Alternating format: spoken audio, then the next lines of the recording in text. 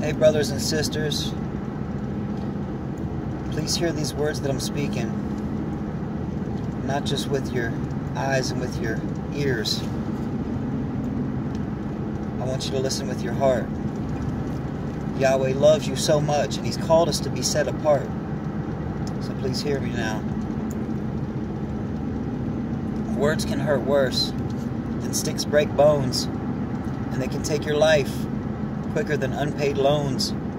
I hear moans and groans from these addicts that Jones. Hey, parents, listen up. Stop playing on your phones. Wake up while you can, before it's too late. Because when the dam breaks, the levee breaks, it's too late. We create our own fate.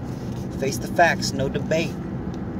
This is fact, not fiction. We're serving our own plate. And the joke's on us if we make the choice to wait. But this ain't no laughing matter, I'm giving it to you straight.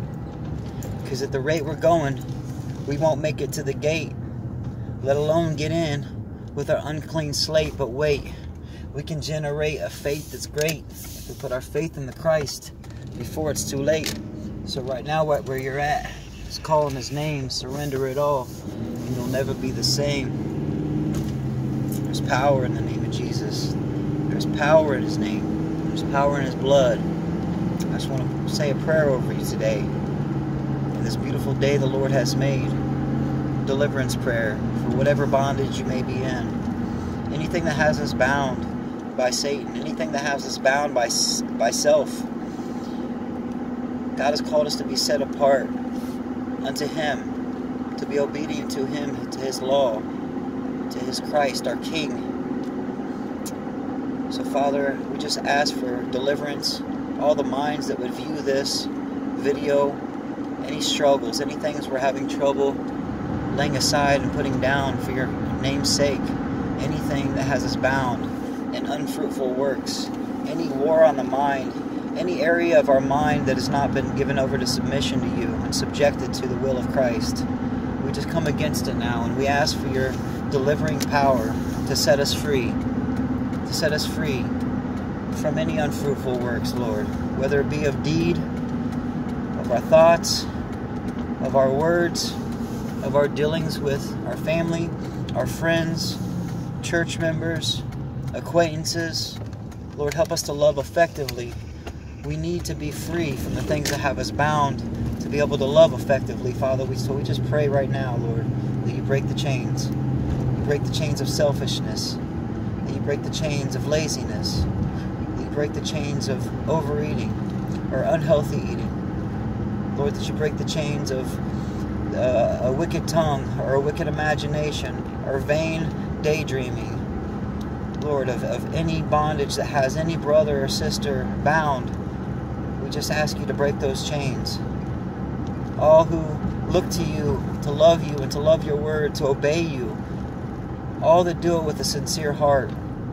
Any person receiving this message, Lord, let our hearts be pure and receiving this prayer to be loosed from the, any bonds that have us bound by Satan.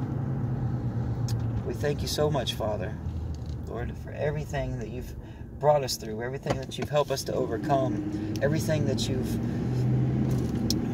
where you've brought us from, Lord. From a debased mind for some of us to a restored mind, a renewed mind, being shaped into your image, your likeness. Oh, Father, we, Abba, we just, we, we desire you, Lord. We desire to walk as Christ walked.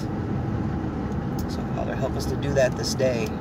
Help us to lay all aside and to walk by your Spirit as we handle our responsibilities and our obligations. Lord, give us proper balance to all of our comings and goings, all of our plans. Let them all be before you and guided by you. Let us walk by your Spirit and be embraced by your Spirit. Let us walk in the newness of life, not by power and not by might, but by your Spirit, God. Help us to be obedient in every area of our life. And Lord, help us day by day to be renewed and refreshed by your tender mercies. For you are merciful.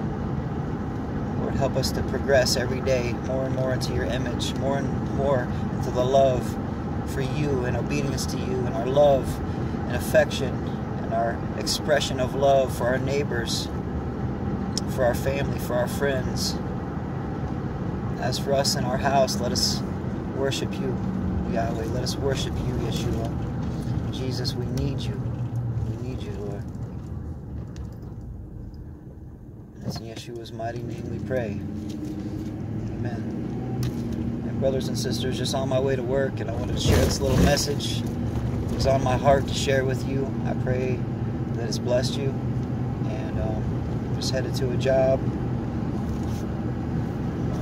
restoring a garage and painting and doing the epoxy on the garage floors. And um, just so blessed, so thankful to have work, thankful to be able to be self-employed, and thankful to be able to um, see the importance to take time for for my neighbors, trying to seek balance with uh, my love for God and my spiritual growth, my love for my wife, and communication with her and taking the proper time with her and um, and also those who God has blessed me with in my life, the friends that I have.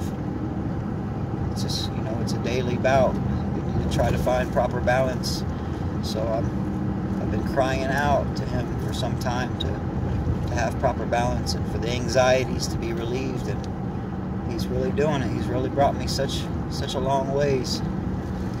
brothers and sisters, if this uh, message has blessed you in any way, please share it with somebody. Be a light, be the light of the world. Jesus calls us to be the light of the world. Sitting on, on a hill cannot be hid. Encourage the brethren. Reproof, edify, love, encourage. Whatever is lovely, whatever is true, whatever is good report, any virtue, any good thing, any uplifting thing, any good message, any good words of encouragement. Meditate upon these things and share them with your brothers and sisters the same. Let us be a good witness. Let us be the light. Love you guys.